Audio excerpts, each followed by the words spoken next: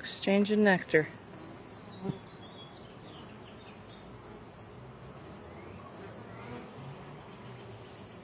Goes from one bee to the other. So one of these bees is a worker bee outside the hive, the other stays in.